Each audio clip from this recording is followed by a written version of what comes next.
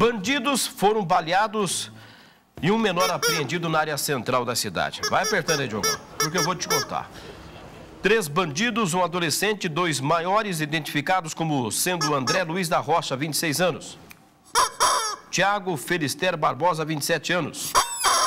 Foram interceptados por policiais militares nas esquinas das ruas Pio 12 com Santos, na área central de Londrina, após terem cometido um assalto contra uma clínica na rua Piauí, nas proximidades do confronto, onde Tiago levou um tiro na perna e o André um tiro no abdômen, na barriga. Aquele que estava na calçada ali, Diogão, hum. mais gritava e chamava a mãe, Diogão. Como que ele falava? Isso, isso, Diogão.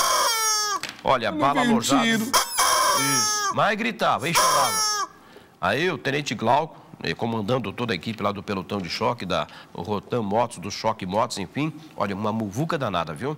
Hum. Agora, é o seguinte, uma pistola calibre é, Opa! 765 apreendida, Opa! um revólver calibre 32, assaltaram, humilharam os funcionários de uma clínica ali nas proximidades da rua Piauí. Na fuga, o fato aconteceu.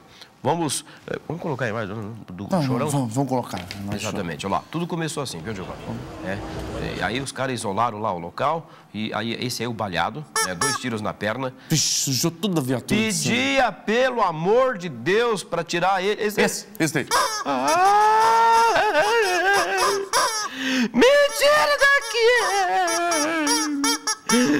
Esse aí é o Luiz, o André Luiz da Rocha, 26 anos, viu, gente? A gente brinca aqui, mas é o seguinte: o cara sai de casa para assaltar, aí humilha, chama de vagabundo Exatamente. ou de vagabunda. Exatamente. A, a tua mulher, o dono do seu estabelecimento comercial. A gente brinca aqui. Agora, na hora que vai para cima do, da, da, polícia, e é baleado porque tem que ter o revide, porque eles estavam com uma pistola e também um calibre 32.